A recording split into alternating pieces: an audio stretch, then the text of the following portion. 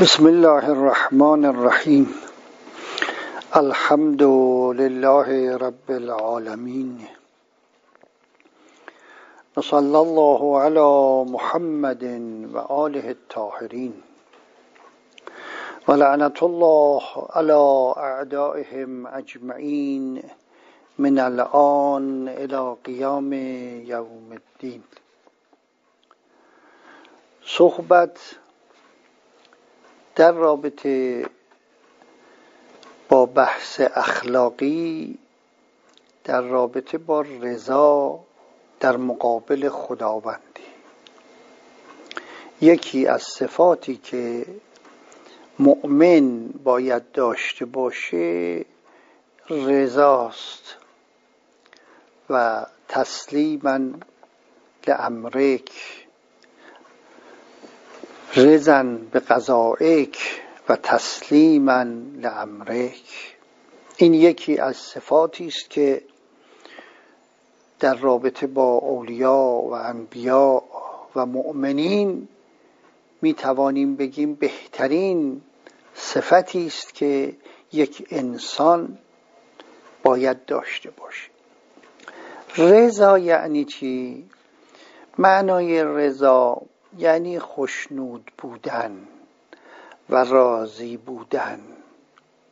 وقتی که شما به یک چیزی راضی هستید و خشنود هستید یعنی هم ظاهرا و هم واقعا این خشنودی رو دارید. در موقعی که نعمتهای پروردگار برای انسان فراوان هست بهترین ها رو داره. خب رضایت هم داره. ولو انسان هیچ وقت قانع نمیشه و ممکنه همه چی رو داشته باشه باز هم بگه کمه. ولی اصولا رضا آن است که ما هم ظاهرا راضی باشیم و هم واقعا و باطنا راضی باشیم. راضی باشیم یعنی چی؟ یعنی از خداوند متعال راضی هستیم. میگیم خدایا چقدر به ما لطف کردی؟ چقدر به ما محبت کردی؟ از ته دل این رضایت قلبی رو از خداوند داشته باشی. در اون حدیثی هست که جبرائیل برای پیامبر بیان می‌کنه پیامبر سوال می‌کنه که فما تفسیر رضا تفسیر رضا چیست؟ که انسان باید راضی باشه تفسیرش چیه؟ قال الرازی الذی لا یسخط علی سیده. اصاب من الدنیا ام لم یصب راضی کسی است که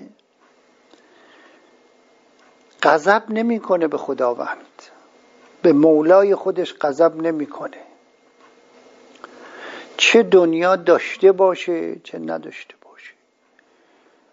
حالا مریض میشه دعواشو با خدا می‌کنه. چرا من باید مریض بشم؟ چرا من باید تصادف کنم؟ چرا من باید سرطان بگیرم؟ چرا من باید بی پول باشم؟ من چرا خانه ندارم؟ من چرا زن ندارم؟ من چرا بچه دار نمیشم؟ تمام اینایی که در عالم می‌بینید یه مشکلی پیدا می‌کنن با خداوند بعضی ها جنگ می‌کنن غضب می‌کنن.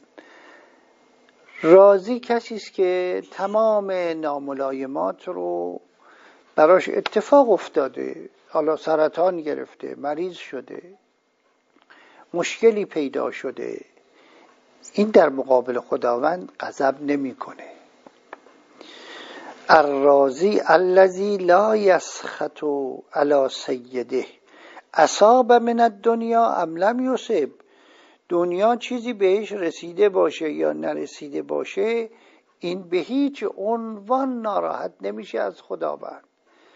بگه که ما در دستورات داریم که اونچه که در قرآن هم هست بدی به شما می‌رسه از ناحیه خودتونه. و آنچه خوبی به شما می‌رسه از ناحیه خداونده اگر خدا به شما همه چی داده محبت ها و نعمت هایی به شما داده.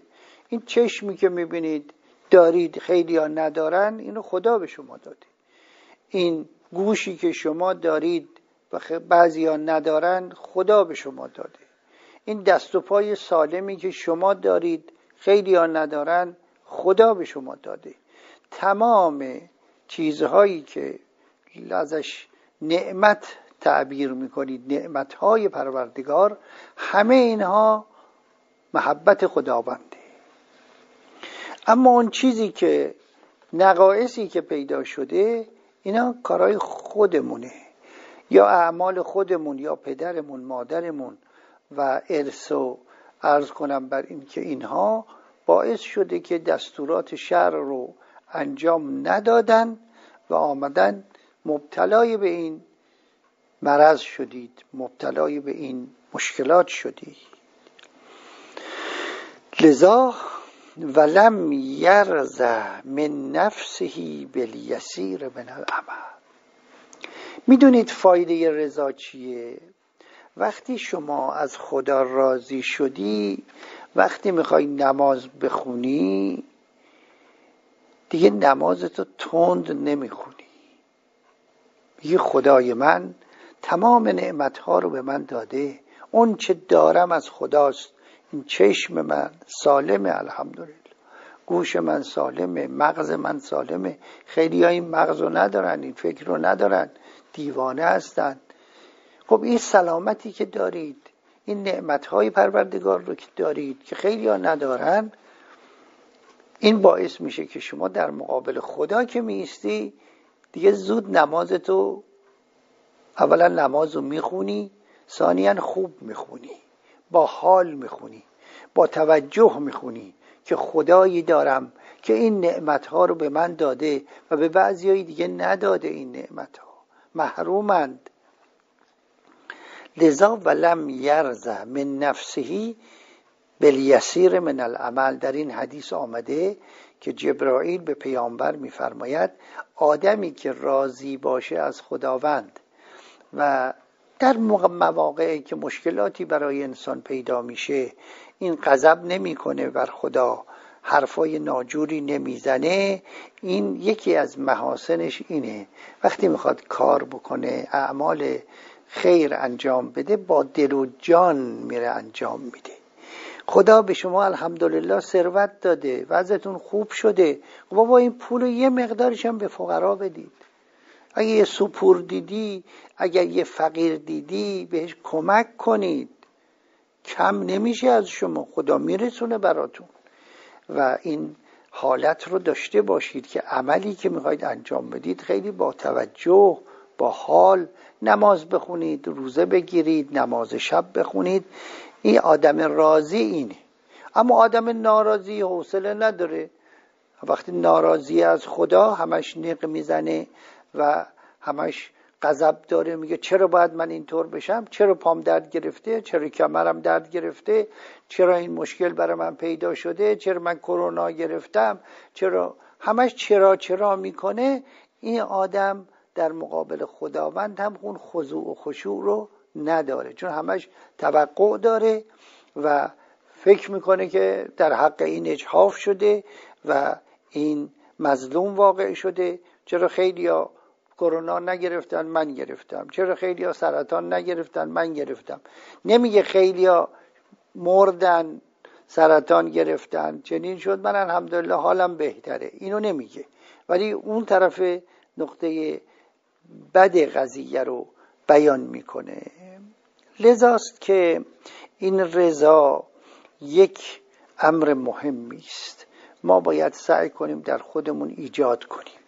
این صفت رو با کمک فکری و اخلاقی سعی کنیم در خودمون ایجاد کنیم که در اون روایت آقا امیر المؤمنین علیه السلام میفرماید ما عبد تو که طمعا فی جنتک.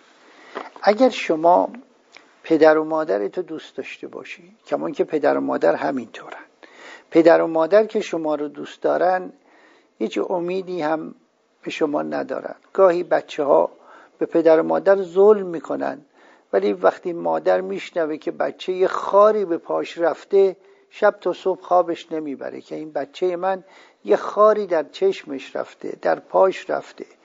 حالا بچه ای که اینقدر بد گفته به این پدر و مادر اذیت کرده اونها رو ولی پدر مادر یک علاقه به این اولاد داره که حاضر نیست ناراحتی او رو ببینه. در رابطه با خدا هم همینطور. اگر ما راضی باشیم به قضای پروردگار و اون روحیه رضا در ما وجود داشته باشه این جمله آقا امیر المؤمنین برای ما پیش میاد. که ما عبد تو که طمعا فی جنتک نه به خاطر جنت و بهشت من عبادت بکنم. ولا خوفا من نارک. به خاطر ترس از آتش نیست که من تو رو عبادت می‌کنم. ولکن وجد تو که اهلا للعباده فعبدتوک وقتی خوب احساس داشته باشید خوب رضا داشته باشید نسبت به پروردگار. و درک کنید پروردگار رو تا یه حدودی اینطور بشید. این مقدار میشه. روحیتون اینطور میشه. حتی برای بهشت شما عبادت نمی کنید برای ترس از آتش عبادت نمی کنید خدا رو عبادت می کنید چون اهل عبادت. بزرگی خدا رو درک می کنید و ولکن وجد تو که اهلا للعباده فعبدتوک وقتی تصور دارید که اگر به این مقام برسید چجوری عبادت می‌کنید؟ چه روحیهی پیدا می‌کنید؟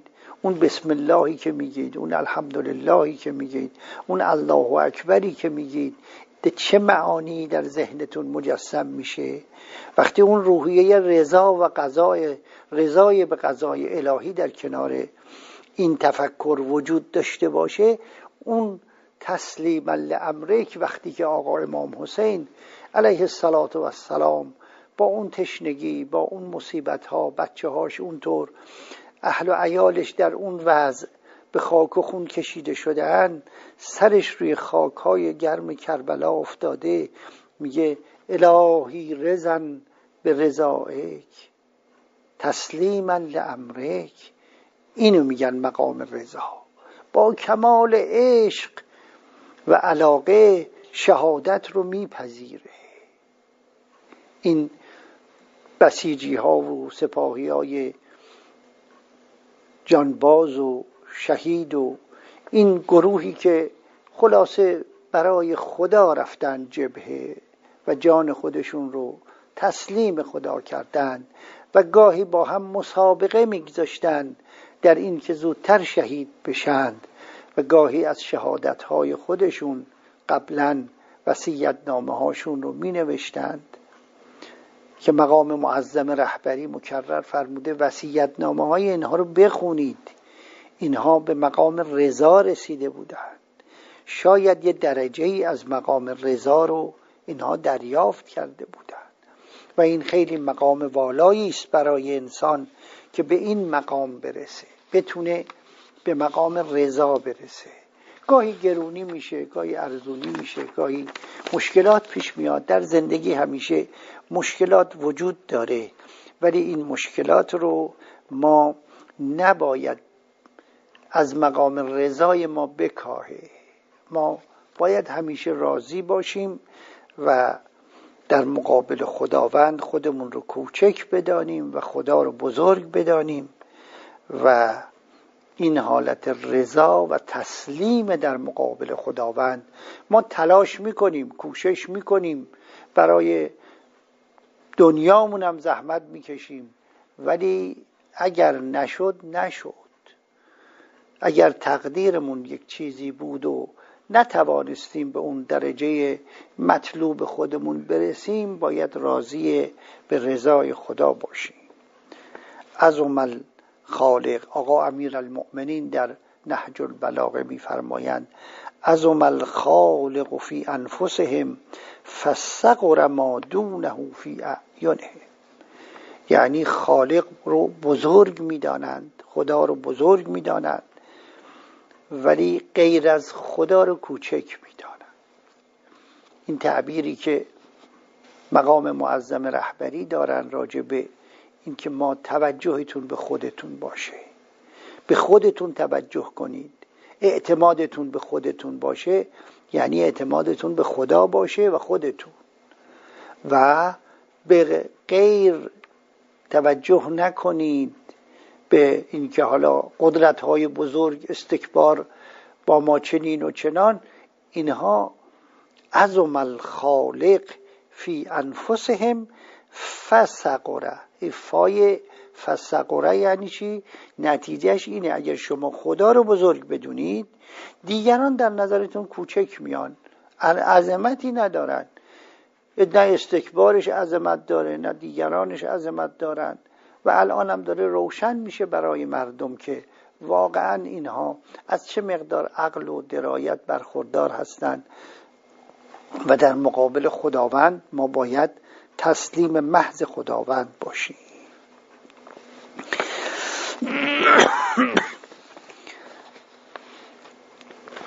و این روحیه رضا برای ما خیلی ارزشمنده من رضی من الله بالیسیر من المعاش رضی الله منه بالیسیر من العمل در کتاب کافی شریف مرحوم کلینی این روایت رو ذکر می‌کنه که امام صادق علیه السلام میفرماید کسی که به زندگی کم می‌سازه و از خدا راضیه میگه الحمدلله یه نون و پنیری داریم خیلی همه نون و پنیر هم گریشون نمیاد. ما الحمدلله یه شهریه داریم. یه زندگی داریم یه حد اقلی رو داریم آبرو داریم. دستمون پلو کسی دراز نیست زندگیمون میگذره. حالا مشکلات هم داریم. راضیم از خدا. شکرگزار خدا هستم. من رضیه من الله بالیسیر من المعاش. رضی الله منه بالیسیر من العمل اگر شما با کم خدا ساختید گاهی اعمال شما نقصی داره مشکلی داره خدا از شما میگذره. خداوند متعال لطف شامل حال ما هم میشه. شما قانع بودید خدا هم کمک می‌کنه و از گناهان شما میگذره و عمل کم شما رو هم مورد قبول قرار میده. این روحیه رضا این حالت رو به وجود می آوره علمای ما هم این مسائل همونطور که انبیای ما و اولیای ما براشون مشکلاتی پیش آمد و همه انبیا و اولیا مشکلاتی داشتند. و در مقام این مشکلات هیچ وقت نیامدن از مقام رضا خارج بشن. اون آقای امام حسین آقای امام حسن ما منا الا مقتول او مسموم. تمام ائمه یا مسموم بودند مسموم شدند و یا اینکه کشته شدند. ولی تمام اینها در مقام رضا بودند. هیچ وقت نبود که ناراضی باشند. انبیای ما و اولیای ما این چنین بودند. مرحوم ملا احمد نراقی در یکی از کتابهایی که نوشته در اونجا یه جمله ای داره که با حال ما مناسبه. مرحوم ملا احمد نراقی در یک کتاب کلامی خودش این جمله رو داره که الان که من دارم این کتاب رو می نویسم و با آمده و مردم در اثر وبا دارن کشته میشن.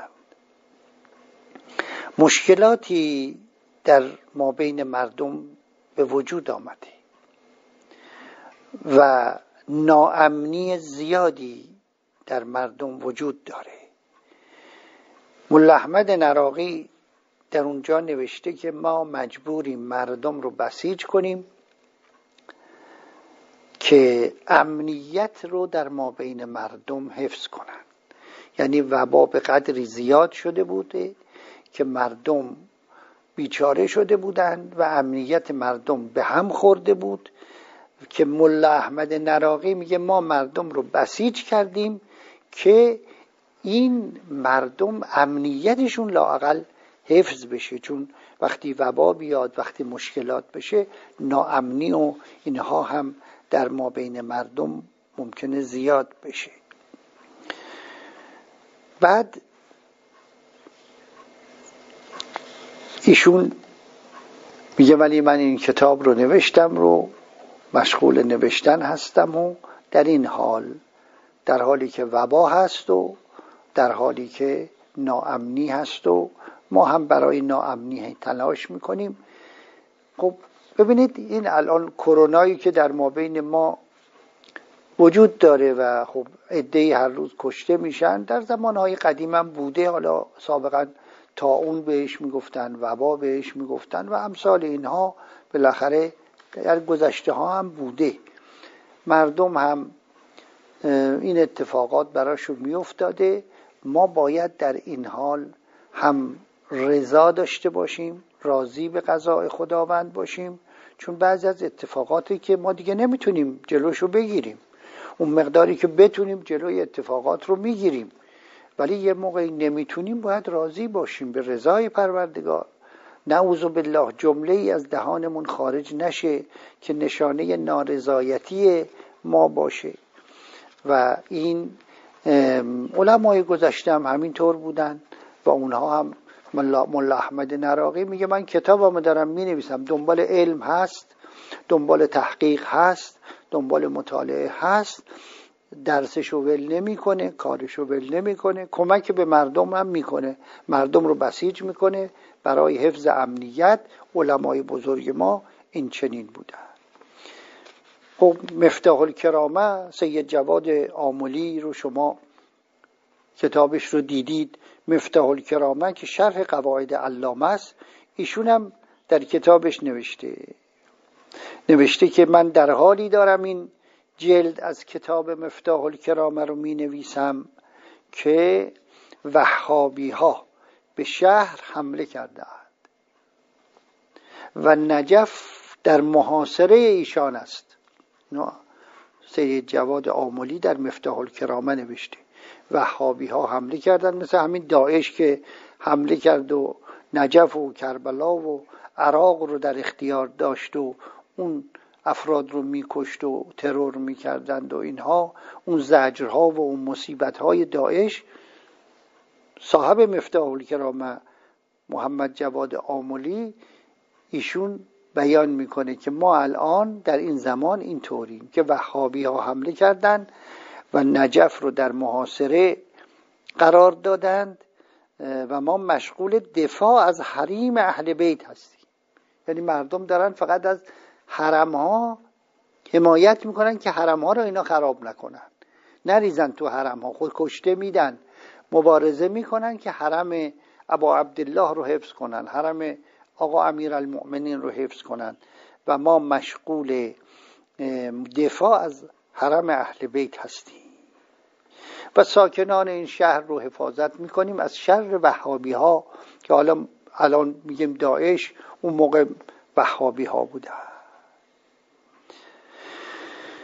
خب این علمای ما بودند گرفتاری هایی براشون پیدا می شده و همه مردم در اون زمان ها از این مشکلات بوده. الان هم مشکلاتی پیش آمده برای مردم. هم از نظر معیشت هم از نظر مرض و ویروس کرونا و امثال اینها. ولی بالاخره در گذشته هم مشابه این بوده و مردم صبر می‌کردند تحمل می‌کردند و مشکلات رو باهاش کنار می آمدن و از مقام رضاتون کم نشه. نکته اصلی اینه که مقام رضا رو ما باید داشته باشیم و راضی باشیم به تقدیر خداوند. البته تلاش کنیم هم برای معیشتمون هم برای سلامتیمون هم برای امنیتمون. باید نهایت تلاش رو بکنیم.